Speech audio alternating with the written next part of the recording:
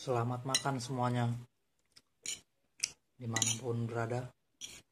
Terutama itu makan dulu. Baru beraktivitas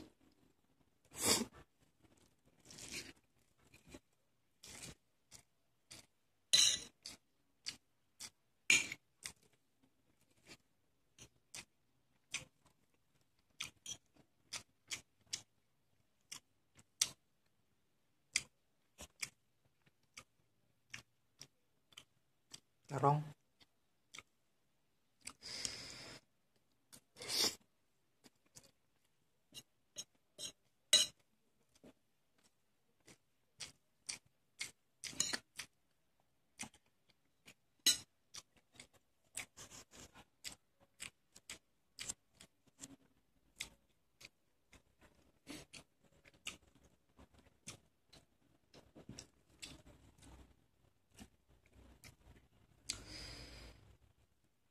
Sejenis omelet